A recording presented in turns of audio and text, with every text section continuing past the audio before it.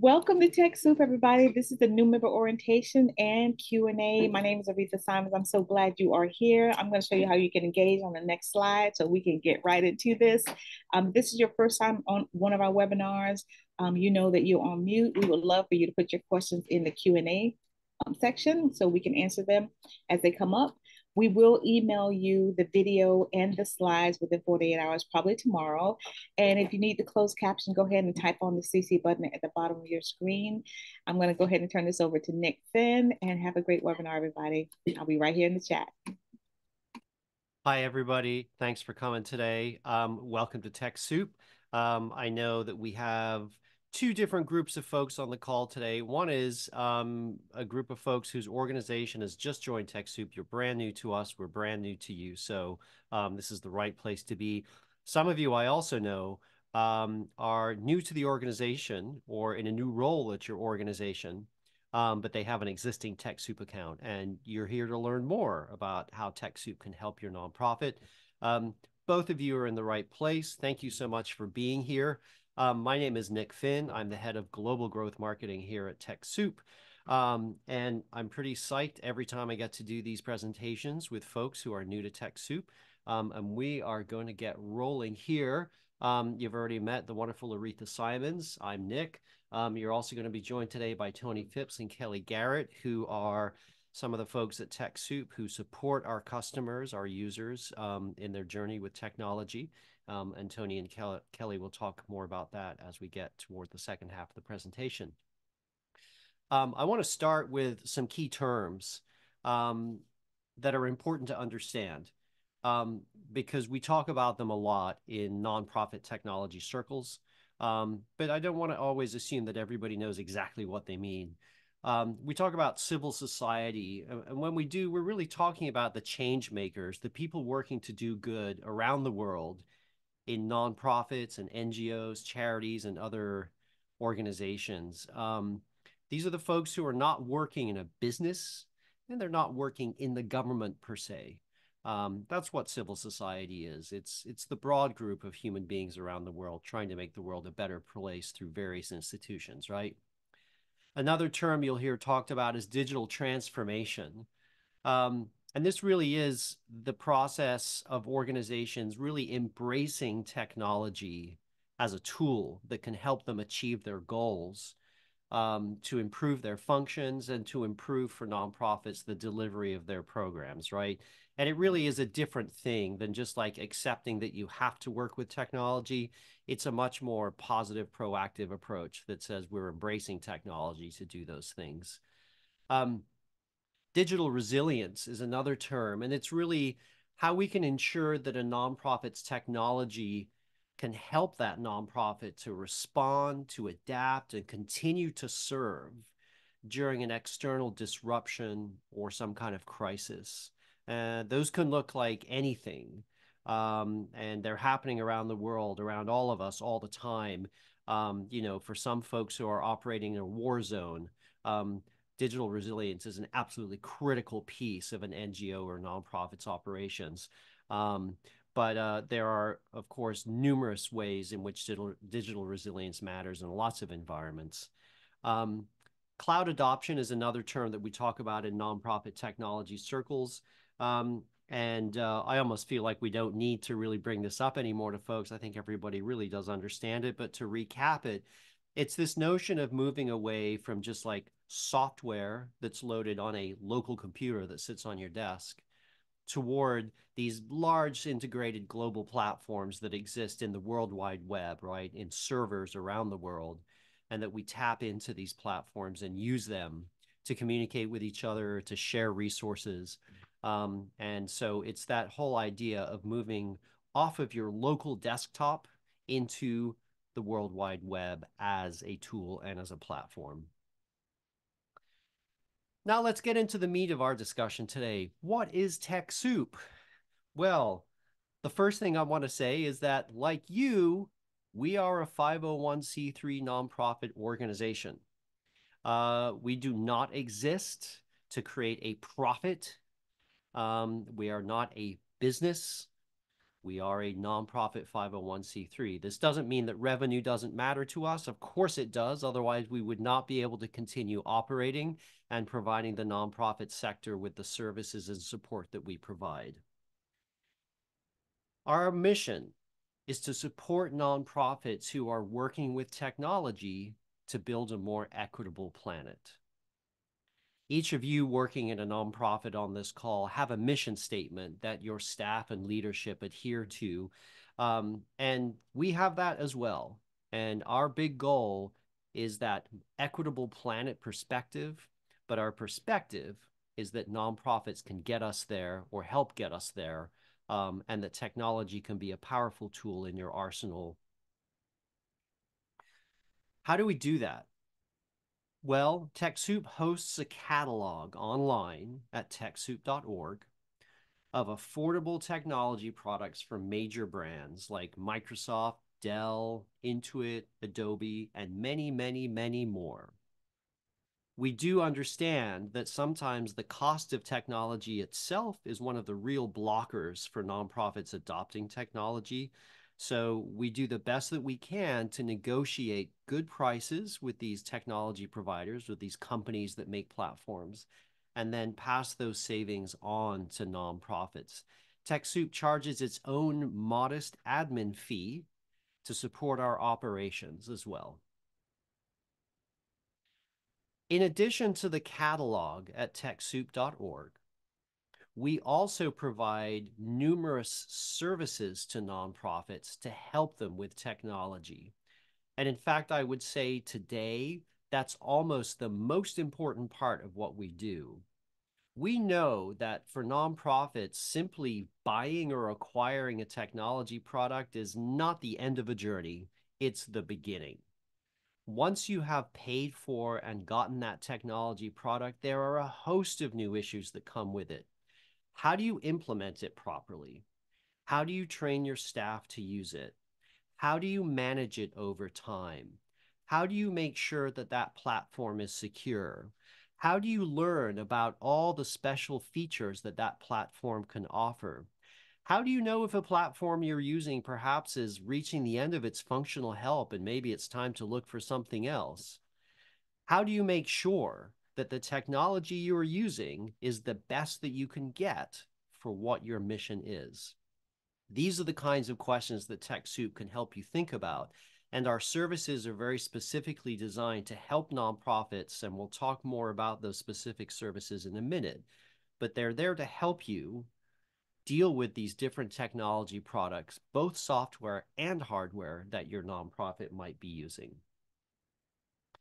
In addition to the product catalog and the services, we also provide educational resources broadly to the nonprofit sector. Those can look like a lot of different things. Sometimes it's a PDF that you can download to learn about something. We have all sorts of videos online about helpful tips and tricks.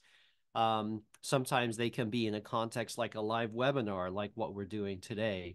Um, but uh, those are free educational resources that we provide to the sector to help you understand more about the technology that you're using or that you might want to use.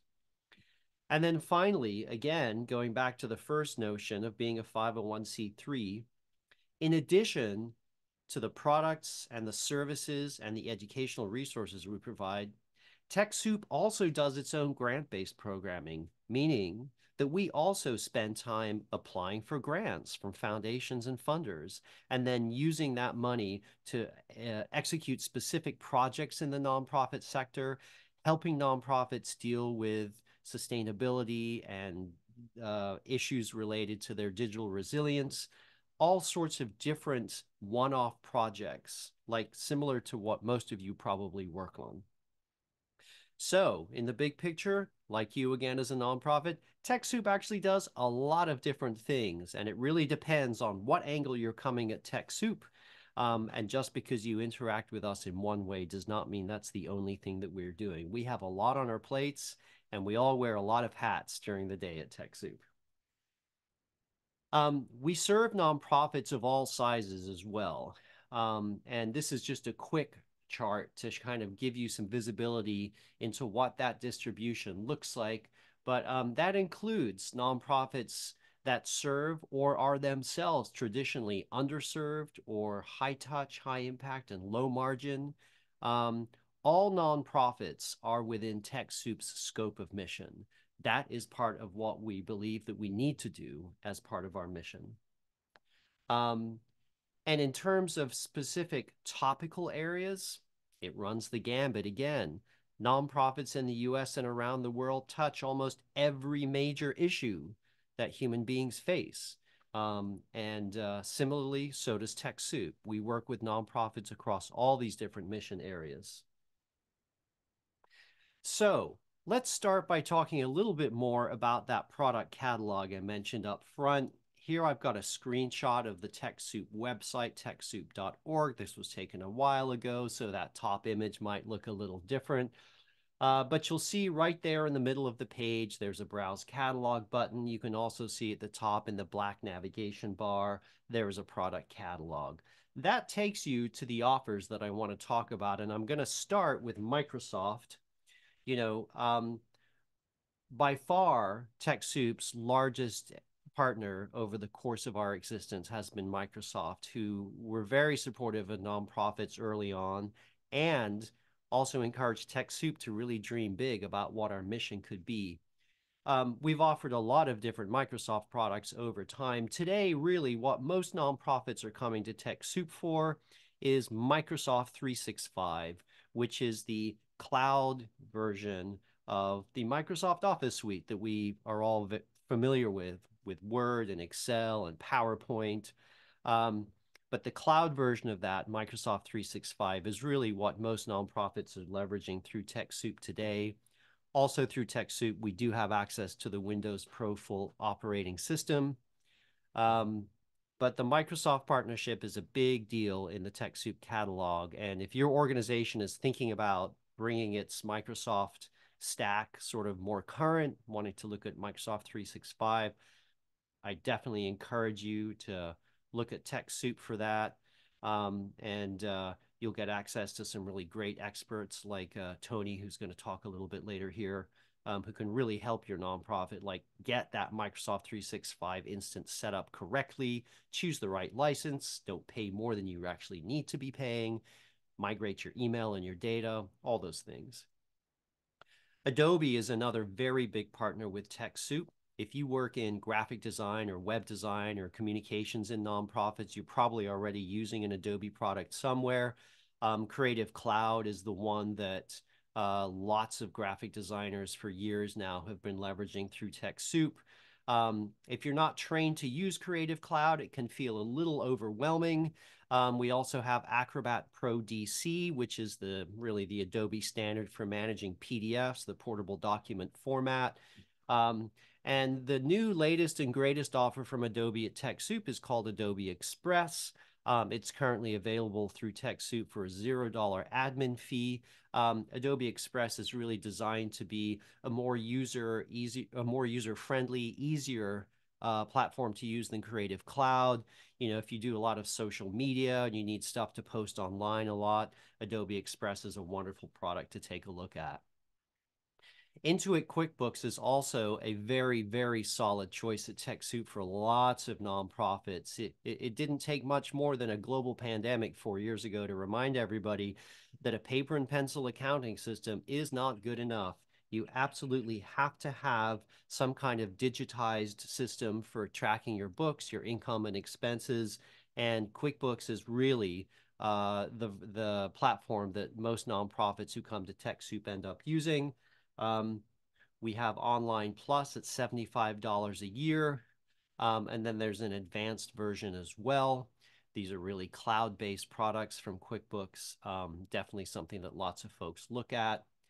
We have a ton of other brands in the TechSoup catalog, by the way, not just those three. And while I'm not going to go into each of these deeply, I do want to share with you the broad swath of offers that we do have at TechSoup from these different brands you know, um, that includes Cisco, which is a wonderful networking, um, uh, and some newer stuff that's come to catalog for us. One thing that I always like to point out, because I have a little bit of an arts background, for instance, is Autodesk, which is this great CAD and design platform that some arts organizations sometimes use. you see GrantStation on this page as well. Um, they provide a product that helps nonprofits look for uh, opportunities for grant funding online. And we actually do a special promo with GrantStation twice a year. And we had ours two, three weeks ago. It was super successful. Always a great bellwether for how nonprofits are feeling. Software is not the only thing you can find in the TechSoup catalog. We do have access to hardware as well. Um, to see our hardware offers, you have to start by going to the product catalog in the top navigation, and then you'll see that hardware uh, nav pops down below there. Um, we have new and refurbished laptops and desktops, servers, networking, and internet hotspots and headsets. And we have other things that come through this catalog all the time as well. It's interesting to just keep an eye on what's available there. Um, TechSoup's built relationships with Dell, Lenovo, and HP, where we do provide access uh, to some special discounted rates through those manufacturers. Um, one of our biggest lines of hardware uh, is refurbished hardware. Uh, excuse me. Um, refurbished hardware is where you take a computer that's not yet, that is no more, it's not brand new anymore. Maybe it's a year or two old. Um, and a refurbisher does a once over on that computer, makes sure it's wiped clean of any information, and then makes sure that the hardware and the software in that computer are, you know, up to spec for what a modern computer would have to do. Um, but essentially, you're buying a used computer that somebody has certified is still completely powerful and able to handle the work that you need. Um, there's two great advantages to this. One obviously is cost because you're not paying the brand new price, but the other is it's a much greener practice uh, than just simply sending all these uh, hardware packages to landfill when people feel like they no longer have to use them. Um, and uh, TechSoup was one of the pioneers in this refurbished hardware industry. It's an industry that's grown quite a bit since um, the, the, early days, but those refurbished units are still available through TechSoup. And so, you know, if really pinching down on expenditures is part of what you're worried about right now, that's a definite, that's a great place to look for some additional savings. Um, and like I said, we often have other things coming through the hardware catalog, mobile devices, monitors, networking equipment. Um, one thing I don't have on this slide at all right now is we introduced a couple of weeks ago the Meta Quest Pro device to the TechSoup catalog. That's the virtual reality uh, goggles. Um, and, uh, you know, it's super interesting to watch how nonprofits would adopt these and figure out some use cases for them. Even though virtual reality itself has been a topic of conversation for decades now, we're only just starting to really get to the point where you know that hardware is is easily accessible to folks and and now it's a real it's a real question of like how are folks going to adopt this what are the different ways in which uh, virtual reality itself can be a technology that might help nonprofits all right so moving on from the product catalog itself I want to talk about the services that TechSoup also provides. And as I said, I think these are almost our core offering now because so many nonprofits need more than just help with getting like saving a little bit of money on software and hardware. It's really like, how do you implement these different pieces of software and hardware? Um, how do you manage them? How do you troubleshoot them? How do you make sure you're getting everything out of them? You know, the value, as they would say um, how are you really making sure that you're getting everything out of that software and hardware that you really hoped to get? Um, our services are available in the drop down menu again at the top under services, self explanatory. We are adding new stuff all the time. Um, I want to talk about a couple of. The first is our help desk service, um, which is available both one off or for like a monthly or annual subscription. But but help desk is really TechSoup helping you figure out a specific thing, an isolated problem. Maybe there's a printer that you have in your office or at home now in remote work that is just consistently giving you issues, something like that. You know, a help desk support ticket uh, is a way that you can get TechSoup to help you deal with whatever that small scale technical issue is. Um, on the other hand, some organizations don't need one off solutions for small things. They're looking for help in a much broader context, how to manage their overall IT stack. That's what our managed IT service is about. This is really helping nonprofits to manage all their technology, soup to nuts, end to ends, having a strategy in place, really thinking through what the important questions are around their technology acquisitions. For most nonprofits, the primary communications channel you now have with the public, with your supporters, with your own users and constituencies, and maybe other folks like elected officials or journalists, it's your website, right? And what a profound piece of technology that is. Your website says everything about your nonprofit.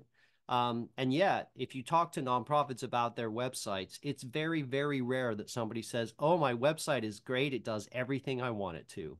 Most people are saying, Oh my God, I really need help with my website. How can we change this? What can we do? What should we do? Um, TechSoup's website services are, are there to help you answer those questions and then figure out how to implement changes to your website. And I'm going to be right up front with you here. That's not free. There's a cost involved with these services, right?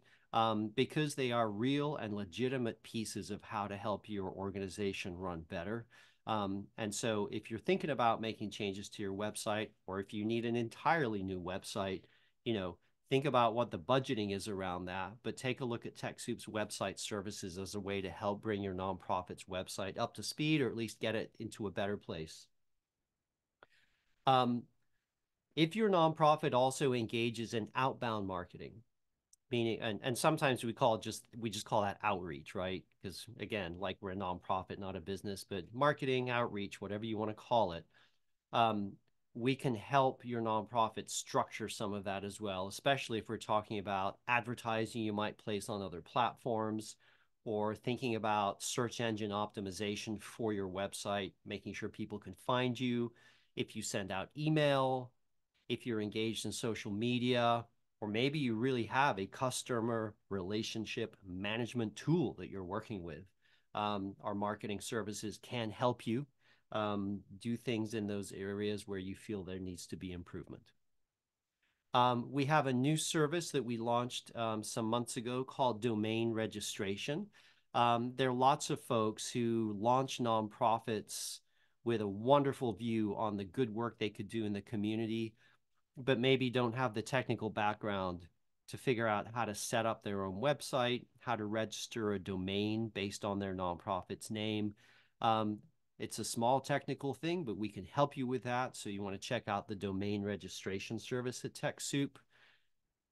And then, as I mentioned, uh, if you're looking at Microsoft 365, um, there is a specific email and data migration service uh, that we offer for Office 365 um, that may well be part of, of what you should be interested in if you're looking at that platform. Um, I also want to call out something at TechSoup called the Digital Assessment Tool. It's available in that services dropdown. The Digital Assessment Tool is not a service so much as it is a way for you to evaluate how your nonprofit is doing on various measurements of its technical aptitude. How is it best using technology across different functional areas of the nonprofit, like fundraising or finance or human resources, right?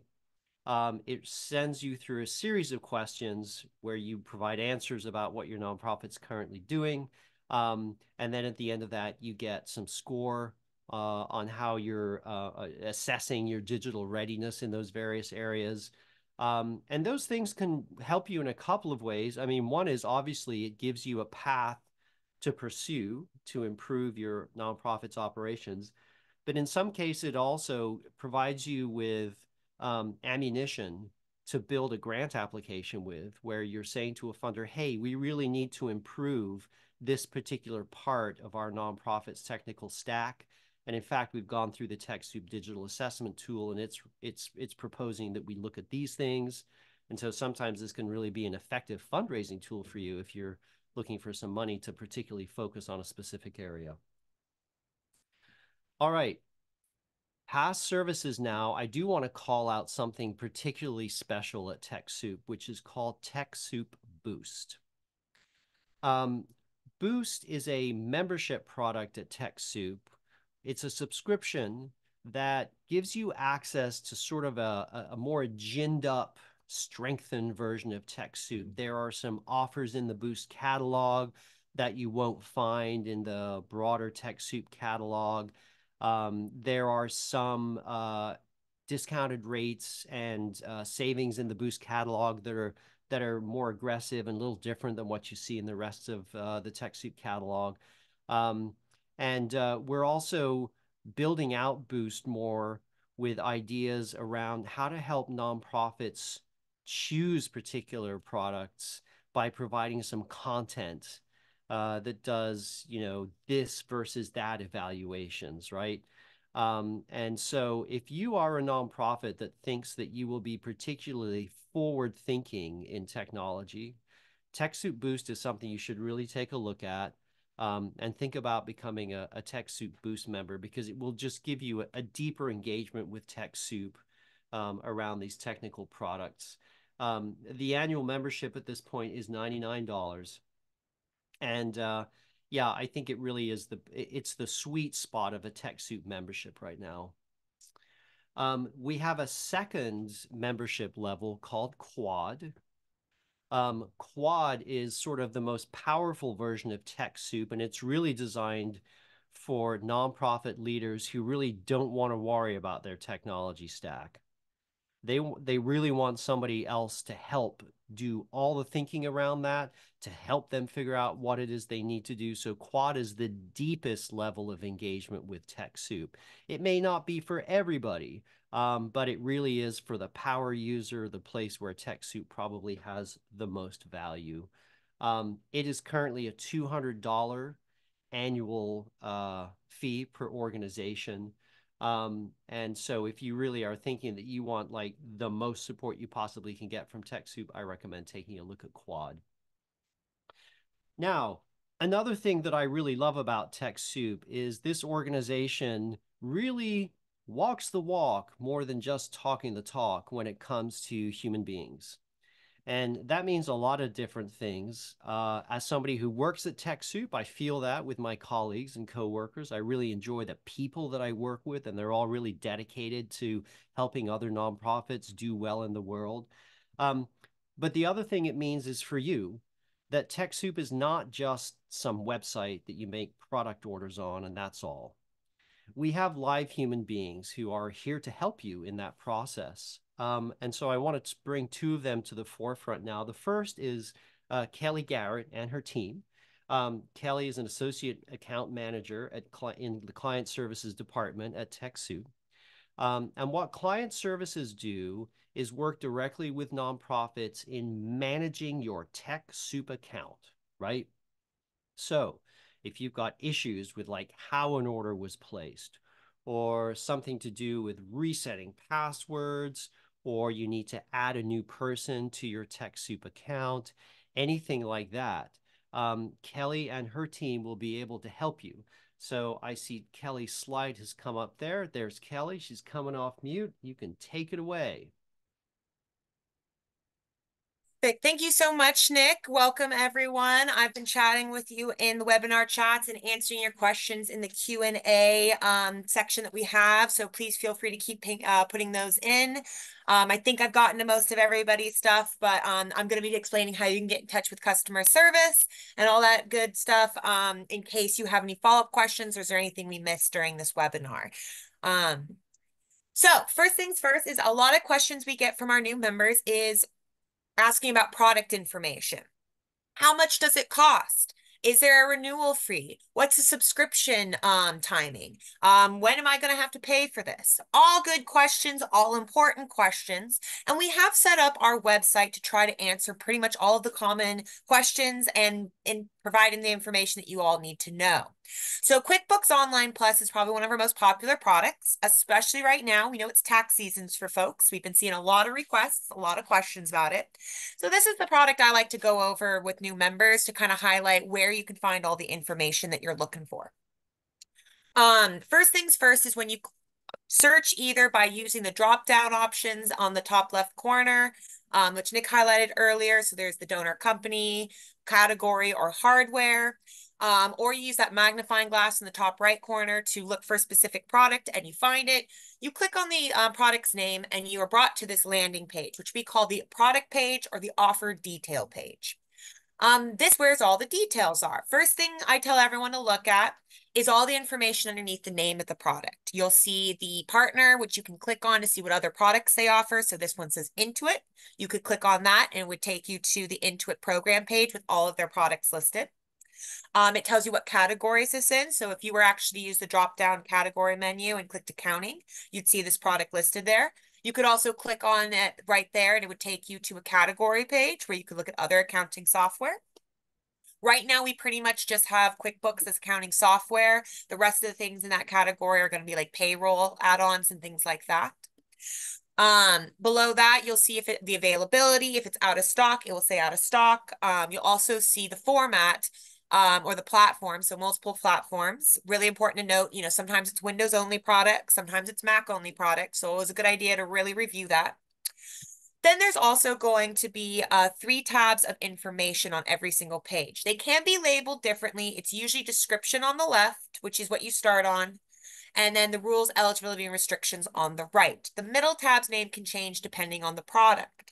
Um, we do have products, for example, that are access to discounted rates. This means that you pay TechSoup an admin fee to access the discounted rate, and then you pay that discounted rate to the part provider. Zoom's a very popular product for access to discounted rates. You pay TechSoup $18. We send you a coupon code.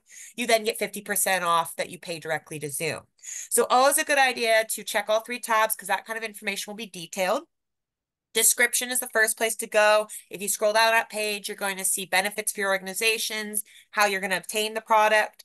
Pretty much all the software and services you see are remote or electronically delivered and, and facilitated.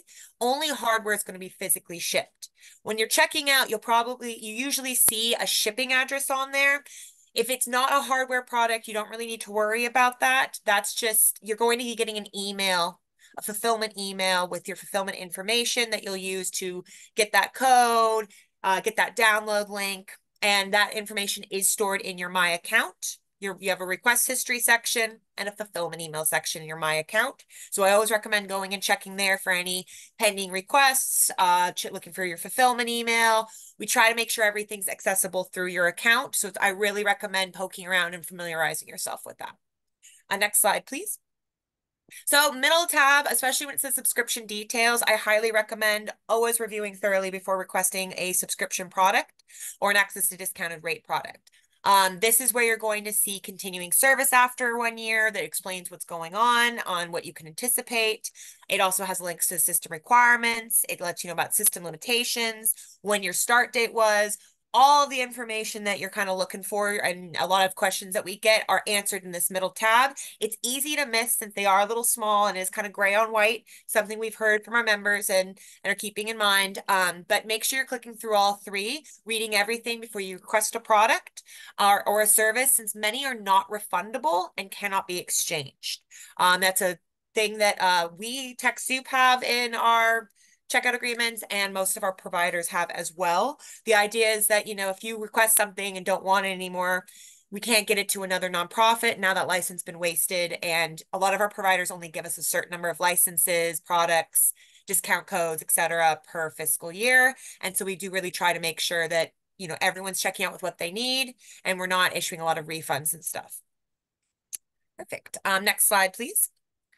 So when you're looking for support, um, if you have already checked the product page and you are not seeing what you were looking for, um, if you're not seeing what you're looking for, uh, then I recommend going to the help uh, tab. Um, it's all the way at the top. It's always going to be next to the login button, or it's going to be that circle icon with like an outline of a person. That's what you see when you're logged in. That's how you access your account help button's always going to be right to the left of that, right to the left. it's going to be right there.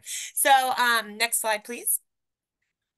When you click on that, you'll be taken to TechSoup support. That is support.techsoup.org that has a ton of really informative articles, how-tos. Um, we're constantly developing this. We're constantly updating it. So really recommend going and checking here every time you have a question. A lot of times you're gonna be able to find your answer either on the product page or in this TechSoup support um, articles. Next slide, please. Um, So TechSoup support and also TechSoup customer service on support.techsoup.org and www.techsoup.org is designed for US-based organizations. If your organization is not based in the United States, if it's located in Canada, um, or somewhere else, you do need to go to that specific partner's website to access that support service and your account information. Uh, we basically have different partners in different countries and re regions that can provide support. The information I'm giving you right now is for US-based organizations, and that's where you want to um, get started is TechSoup.org or the support.techsoup.org. We also have this great article highlighting everything that uh, Nick went over earlier. It's all about the products and services like Quad. If you want to learn more about that, it's got links to the different pages. Um, we have product information. Um, it explains how I just went over where you look at the information, making sure you're looking at those tabs. Highly recommend um, this e uh, checking out this web or sorry, checking out this URL.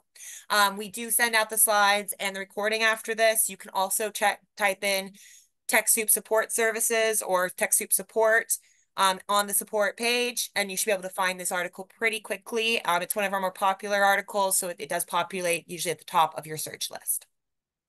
Next slide, please.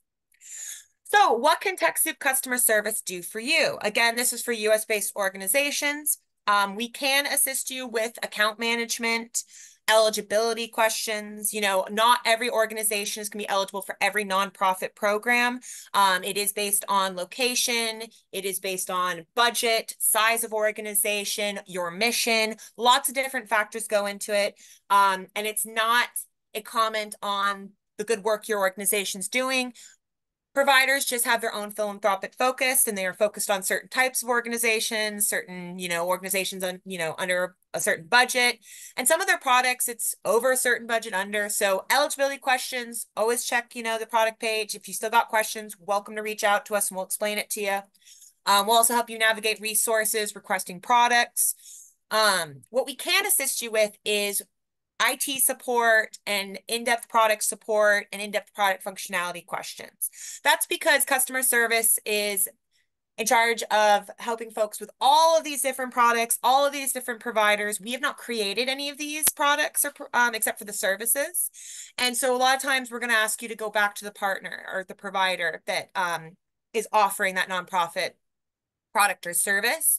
So for example, if you were having issues installing or activating your QuickBooks Online Plus, we would send you to Intuit support so that they could assist you with downloading and installing and using their product. It's the same products on the commercial market or retail market as it is available on TechSoup. The only difference is you're getting an admin. The admin fee is going to be a nonprofit rate. So it's going to be the best rate out there for the market. Um, so that's something to keep in mind. If you do need support services and your, you know, the provider hasn't been able to help you, I highly recommend going back to that um, support article that I highlighted before um, and go, and that will help you pick out maybe a help desk support. Um, quad, you might want to join Quad. You get a dedicated support team, all that good stuff. Um, next slide, please. Uh, yes, the fees, I just saw someone ask, are the fees quoted are US dollars. TechSoup.org is for United States-based organizations. All the fees are US dollars because only United States-based organizations are going to be able to check out with those. Um, so just to keep that in mind, I know we have a couple people from Canada. A lot of this stuff, you're going to need to go and double check on TechSoup uh, .ca. That's where the TechSoup Canada website offers catalog your account are located. Um, that will have the admin fees that you're going to um, want to check in with. Um, perfect. So for this US customer service, we have recently launched live chat. Um, we are exclusively assisting folks through live chat. Um, we no longer have phones or uh, contact us form. Um, instead, we've got our live representatives giving um, support from usually 7 a.m. I apologize, there's a typo here. It's usually from 7 a.m. to 3.30 p.m. right now. Um, you can always check what our weekly live chat hours are by clicking the help button. Um, and that will let you know when we are available. It is Pacific time. We are located on the West Coast. So something to keep in mind is that if you're not seeing that um, live chat option, it's you might be outside of our hours of operation, which you can always check in that help bubble. These are subject to change based on holidays and other factors. So something to keep in mind um, is always check what um, those daily uh, hours. And then I do have some troubleshooting in case you are within hours and you're not seeing our live chat as an option. Uh, next slide, please. So when you're looking for help um, for TechSoup US customer service, you are going to go to www.techsoup.org or support.techsoup.org. Um, I'm showing you the main website right here. Um, you'll see that there's a help button in the bottom right corner. You'll see at the top there, there is um, the hours are listed in the black header, and then you'll see that black live chat button within the pop-up window. Next slide, please. So I'm not able to connect to live chat. What's going on? Um, we've done a thorough testing and we've looked very much into this. We sometimes get reports from members that they don't see the help button bubble or they don't see the live chat button. And we've pretty much determined that this has to do with the device being used or the browser being used. Um, one of the big things to keep in mind is that um, we don't recommend mobile devices to access our website. Um, that would be cell phones, tablets, etc. We really recommend using a computer to access www.techsoup.org. Um, if you use a mobile device, you're not going to see the live chat button on that website. Support.techsoup.org is on a different platform, so you will actually see the live chat button if you use a mobile device. But overall, everything usually runs a little bit smoother if you use a device for navigating the website, accessing chat, checking out, account management, all that stuff. I really recommend a computer. Um, if you are using a computer and it's still not popping up, um, you know, try a different browser.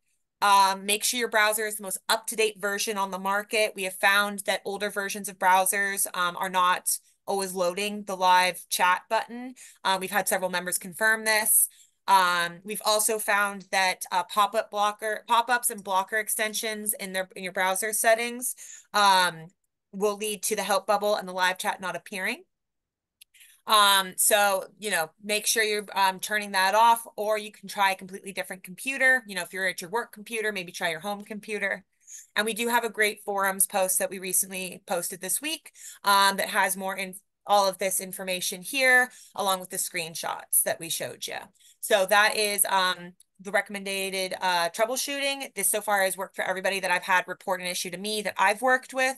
It is a device or it's a browser issue. Um, we are taking actively taking chats and we've tested our systems when we've gotten these reports and we figured out that it's on members' ends. Um, I believe that might be my last slide, but next slide. Yes, that is my last slide. Um, I did see there were some questions for me, so I'm going to try to clear those out right now um, before we end this meeting. Tony, I will let you take it from here. Thanks, Kelly. Appreciate that uh, and appreciate everybody being on the call. Uh, welcome, welcome. Um, as Nick and everyone has shared, I am part of the customer success team. My name is Tony Phipps. And customer success, what are we about? Well, there's seven of us on the team. And we basically try to walk the organization through whatever phase that you're in with your technology, whether it's just learning more about the products and services that TechSoup has to offer. Um, maybe it's about, you know, your technology stack and am I using the right thing? Am I not? So we really try to meet the organization where they're at. So as you can see here, um, it's got a little bit of some examples of how we are as a team. Uh, we've got over 20 years of experience helping nonprofits. Um, we definitely are involved with all the different products and services. So we try to teach you more about that and see if it's something that'll work for you guys. Um, again, we're certified. Uh, my partner, uh, Kevin, is Microsoft certified at least four or five times. Um, I just recently got AWS certified. So you definitely have people on your side that kind of know what's going on. So we can kind of walk you through some things.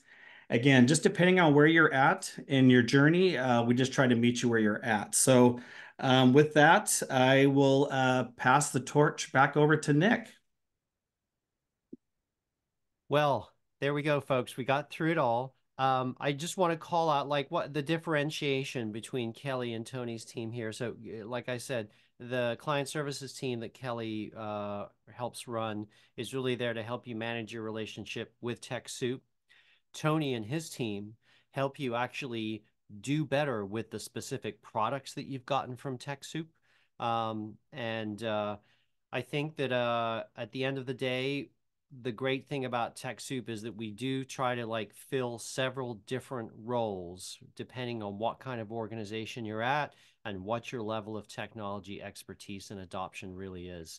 Um, and, and, like I said, around the real people, like that's the other part of TechSoup.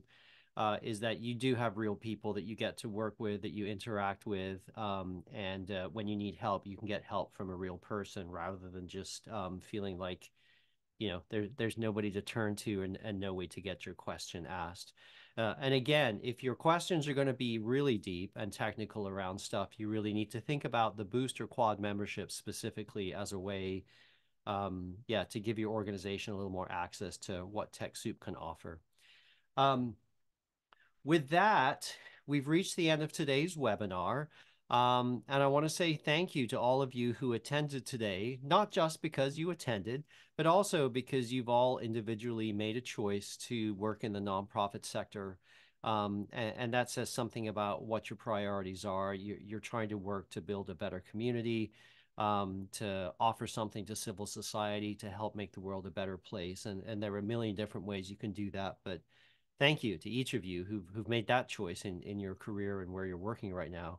Um, uh, with that said, um, I know that you will receive emails after this webinar with a link to this deck. There are live links in this deck that you can click on to get to some of the offers and services we talked about. Um, but uh, I encourage you to take a look at the TechSoup website, um, see if there's some things on there that might be helpful to you and your nonprofit. Um, and uh, as you've already learned, we've got folks um, ready to help if if that's what you need. Um, and uh, with that, I will call this webinar done. Thank you so much for your time today.